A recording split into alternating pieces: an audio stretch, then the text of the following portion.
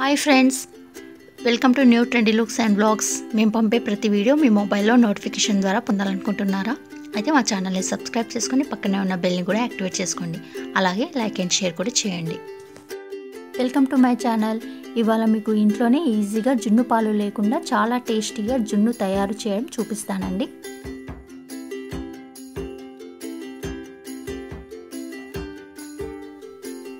దీనికోసం ముందుగా ఒక మిక్సీ జార్ తీసుకొని అందులో ఒక హాఫ్ కప్ బెల్లం తురుము ఒక హాఫ్ కప్పు షుగర్ అలాగే టూ ఎగ్స్ని పలగొట్టి వేసుకుంటున్నానండి.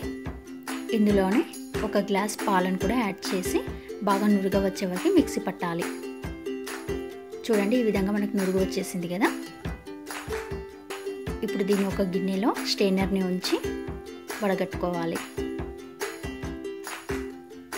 ఇలా వడగట్టడం ద్వారా బెల్లంలో ఉండే రాళ్ళు కానీ పుల్లలు కానీ ఉంటే పోతాయండి.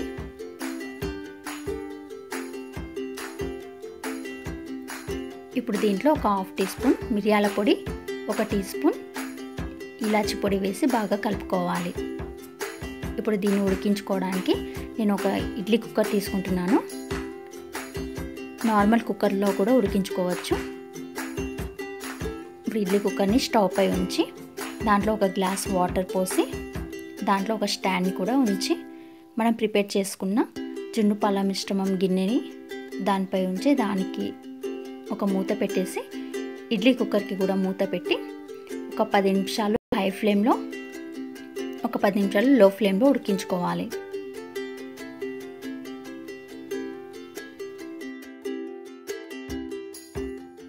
ఆఫ్టర్ ట్వంటీ మినిట్స్ చూడండి కుక్కర్ విజిల్ కూడా వస్తుంది కదా. ఇప్పుడు మూత తీసి ఒకసారి చూద్దాం.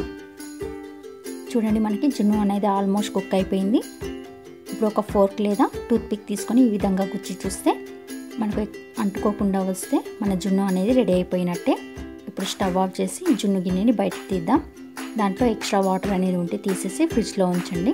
కాసేపు ఫ్రిడ్జ్లో ఉంచిన తర్వాత ఇలా ఒక ప్లేట్లోకి తీసుకొని ముక్కలుగా కట్ చేసుకుని సర్వ్ చేసుకోవాలి. అంతే ఫ్రెండ్స్ ఎంతో సాఫ్ట్ అండ్ టేస్టీగా ఉండే ఎగ్ జున్ను రెడీ.